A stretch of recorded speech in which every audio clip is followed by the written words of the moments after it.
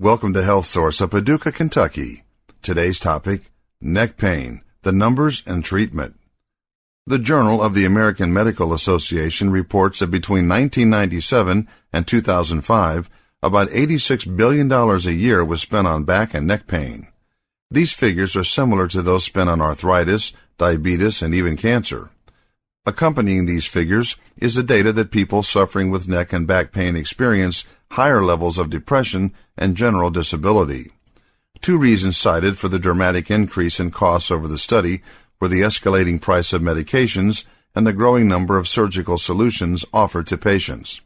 Of interest is the fact that surgical solutions should be considered a last recourse when treating back or neck pain since the results are often unsatisfactory or incomplete. Researchers were curious as to why there had been a 65% increase in cost for these conditions, even when accounting for inflation. Where does the fault lie? While the increase in prescriptions, especially expensive ones, can be partially attributed to both the patient and the drug company's successful marketing, the rising number of surgeries is clearly caused by overeager surgeons. The availability of regular television advertising for powerful, expensive medications leads patients to arrive at the doctor's office with a goal in mind. Studies show that if a patient requests a specific medication, the doctor will often agree to a prescription even if they feel it isn't the best option for treatment. Not only to prescribe inappropriate medications, but also to perform tests such as MRIs even when they aren't called for. There is an arm of the medical community that prefers surgery as a treatment option for severe neck and back pain. There is little corroborating evidence that surgery will help people with chronic, non-structural back and neck pain. Still, the rate of spinal fusions, disc replacements, and other such surgeries continue to rise. So, what does work? The current recommendations for treating both back and neck pain are minimally invasive.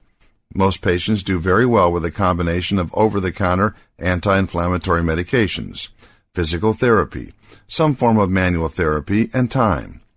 If the condition becomes chronic, it often takes longer to achieve desired results in treatment. For those who wake up with the proverbial crick in the neck, simple icing, gentle stretching, and some analgesics will usually do the trick in a few days. Postural changes may be advisable. Check your neck position when working at the computer or in bed. Getting a wireless headset to use when on the phone is another easy change to make to reduce strain on neck muscles. If the pain persists and or you experience numbness and pain that radiate down the arms and into the hands, a visit to the doctor is called for. Some of the nerves exiting the spinal column in the neck may be compressed, either by neck muscles or by damaged discs. Both conditions are highly treatable. Your best bet for getting the right treatment is to consult with your physician rather than arrive with a preconceived plan in mind. To find out more information on topics like this, please go to www.healthsourceofpaducah.com.